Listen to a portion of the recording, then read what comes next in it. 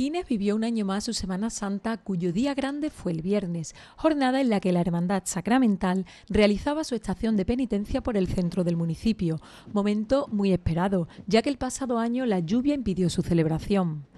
Previamente, concretamente durante la tarde del jueves, se producían en la parroquia los tradicionales oficios y la guardia de hermanos, que se desarrollaron en un ambiente de gran solemnidad, con la reserva del Santísimo y los pasos encendidos, prolongándose hasta las 12 de la noche.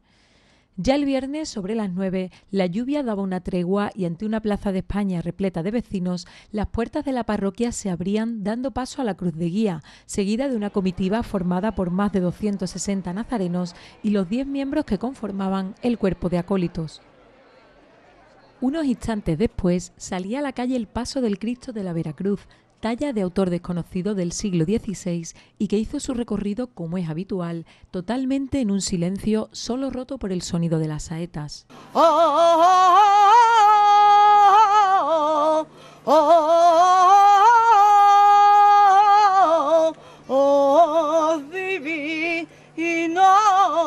por culpa de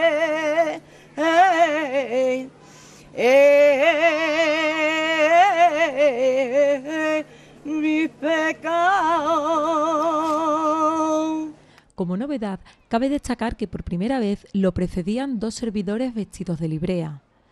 Instantes después salía del templo la imagen de Nuestra Señora de los Dolores Coronada, obra de Juan de Astorga de 1816, en cuyo recorrido la acompañó musicalmente la banda municipal de Gines.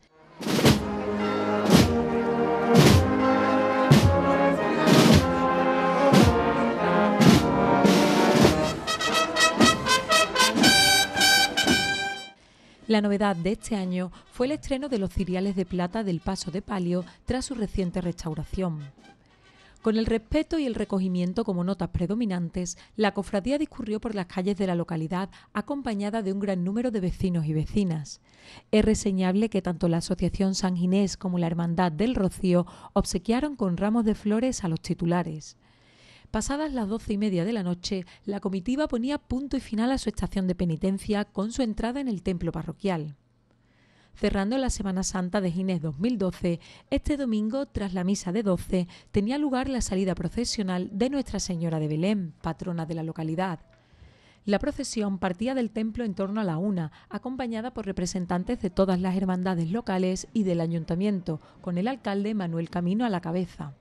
La gran novedad fue sin duda la salida de la procesión en horario de mañana y no de tarde, como es habitual, algo que propició que fueran muchas las personas que se decidieran a acompañar a la imagen en su recorrido.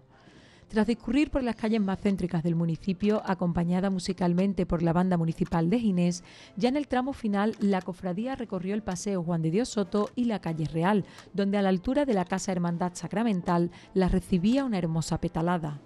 Cumpliendo la tradición, también se detuvo la imagen ante la Casa Hermandad del Rocío de Gines, donde la esperaba la carreta de plata adornada portando el antiguo sin pecado.